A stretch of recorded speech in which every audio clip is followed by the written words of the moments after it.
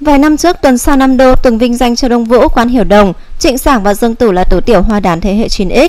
Đây từng là bốn mỹ nhân sở hữu bộ phim tiêu biểu và có quốc dân độ cao nhất so với dàn sao cùng thời.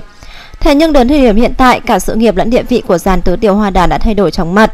Chẳng hạn như Trịnh Sảng đánh mất tất cả, chỉ còn lại tiếng xấu. Chính vì đó mà từ đầu năm 2021 đến nay, cộng đồng mạng xứ Trung liên tục tham gia các cuộc bình chọn để tìm ra tân tứ tiểu hoa đán thế hệ 9X. Vị trí thứ 10 thuộc về Châu Đông Vũ. Trong số những mỹ nhân sinh năm 1990, chúng tôi cứ ngỡ rằng không có ai sao bì được với Châu Đông Vũ. Cô từng nằm trong danh sách tứ tiểu hoa đán trước kia, những năm này còn đóng phim điện ảnh của đạo diễn nổi tiếng. Và đặc biệt khả năng diễn xuất đã được công nhận khi cô trở thành tam kim ảnh hậu trẻ nhất trong lịch sử.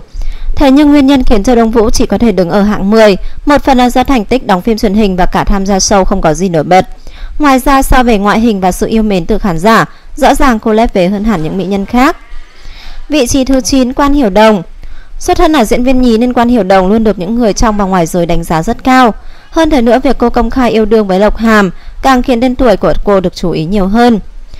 Tuy nhiên, cộng đồng mạng nằm tiếc nuối bởi những năm gần đây, sự nghiệp phim ảnh của người đẹp có dấu hiệu xuống dốc. Thậm chí không ít người còn tỏ ra nghi ngờ về kỹ năng diễn xuất cũng như sự nghiêm túc với nghề của mỹ nhân họ Quan. Thứ 8, Châu Dã.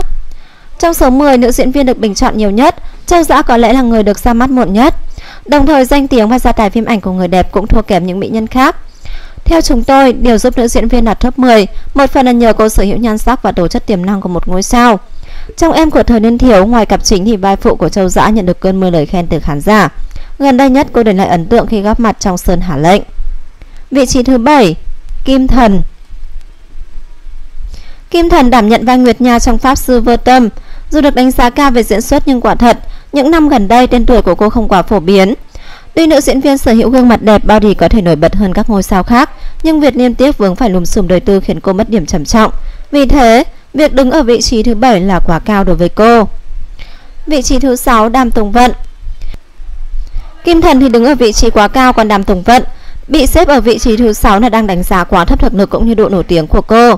Nữ diễn viên nên được nằm trong top 4 bởi những năm gần đây năm nào cô cũng có phim gây bão như Lấy danh nghĩa người nhà, Cẩm Y Chi Hạ, Cẩm Tâm Tượng Ngọc. Chúng tôi cảm thấy rằng độ hot của nữ hoàng Chemistry chưa bao giờ có dấu hiệu giảm nhiệt. Vị trí thứ 5 Triệu Lộ Tư Để nói về một cái tên có danh tiếng tăng vọt trong 2 năm trở lại đây thì phải nhắc tới Triệu Lộ Tư. Không chỉ ngoại hình ngày càng cải thiện và khả năng diễn xuất của người đẹp này cũng được nâng theo thời gian. Chắc hẳn nhiều bạn cũng như mình rất yêu thích vẻ dễ thương mỏng manh và nụ cười vô cùng ấm áp của mỹ nhân họ Triệu.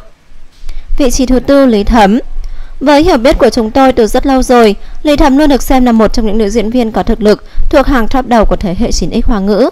Không cần bon chen với đời, cô luôn dùng khả năng diễn xuất để chinh phục cả những khán giả khó tính nhất.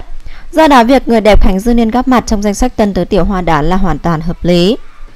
Vị trí thứ ba Cúc Tịnh Y Việc Cúc Tịnh Y vượt mặt toàn mỹ nhân tiềm năng để góp mặt trong danh sách tân tứ tiểu hoa đán khiến khán giả không khỏi ngỡ ngàng. Sở hữu một lượng lớn người hâm mộ cũng có khả năng ca hát và vũ đạo điêu luyện, nhưng xuất phát điểm của cô là một thần tượng. Chưa hết, mỹ nữ 4.000 năm liên tục vướng tin đồn trùng tu nhan sắc. Có thể một vài bộ phim của cô được khán giả đón nhận, nhưng khán giả thấy rằng khả năng diễn xuất của Cúc Tịnh Y vẫn có một khoảng cách nhất định so với những nghệ sĩ được đào tạo bài bản. Vị trí thứ hai Dương Tử Vị trí thứ nhất Địch Lệ Nhiệt Ba Người đứng đầu trong danh sách tân tố tiểu hoa đảo là Địch nệ Nhiệt Ba Nếu chỉ xét vào độ nổi tiếng thì khán giả đồng tình cả hai tay Nhờ sở hữu ngoại hình nổi bật mang khí chất của minh tinh Mỹ nữ Tân Cương đã thu hút một lượng fan hùng hậu Đây cũng chính là một trong những lý do giúp người đẹp tiến thẳng lên vị trí dẫn đầu Tuy nhiên, việc các bộ phim mà địch nệ Nhật Ba góp mặt có chất lượng không đồng đều cũng khiến nhiều người nghi ngờ về khả năng diễn xuất của cô. Người đẹp được khen ngợi với những bộ phim lớn chất lượng như Tam sinh tam thể Trầm Thượng Thư, Trường Ca Hành, sắp tới sẽ là em là liềm kiêu hãnh của anh. Cảm ơn cả nhà đã lắng nghe video của Pvlog. Cả nhà đừng quên nhấn like và đăng ký kênh để nhận được những thông tin mới và hot nhất. Xin chào và hẹn gặp lại.